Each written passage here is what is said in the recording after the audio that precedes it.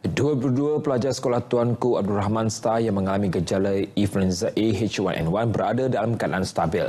Menteri Kesihatan Dr. Zulkifli Ahmad kesemua pelajar dipantau rapi bagi menyekat penyebaran wabak tersebut. Saya diberi faham bahawa keadaan telah lebih terkawal dan semua yang berada di eh, bilik isolasi ya seramai berapa tu?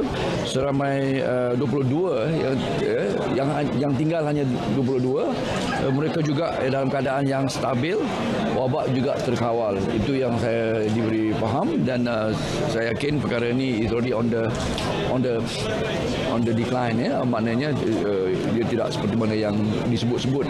Ada pihak-pihak ya ada yang menyebutkan semakin uh, merebak uh, pandemik ini ya. Jadi itu wabak ini sudah terkawal dan 22 yang tinggal di bilik isolasi semuanya dalam keadaan stabil. Susulan wabak H1N1 yang dilaporkan pada 13 April lalu, Jabatan Kesihatan Daerah Kinta telah ke sekolah berkenaan untuk aktiviti saringan dan isolasi. Topeng penutup mulut dan pembersih pembunuh kuman juga telah diagihkan. Dr. Zulkifli ditemui selepas merasmikan Hari Malaysia International Dental Show 2019 di PWTC yang berlangsung dari 19 hingga 21 April ini.